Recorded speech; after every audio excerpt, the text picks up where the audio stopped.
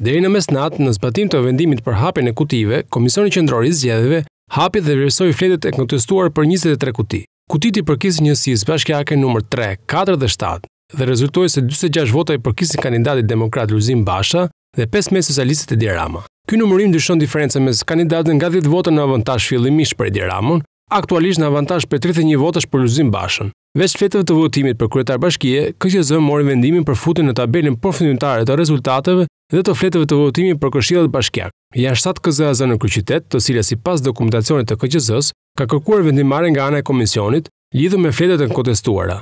Mbledhja e Komisionit Qendror të Zgjedhjeve është ndërprerë shpesh herë për pushime dhe pritet të rifillojë të enjten në mëngjes, ku do të shqyrtohen fletët e kontestuara për secilën nga katër njësitë e mbetura.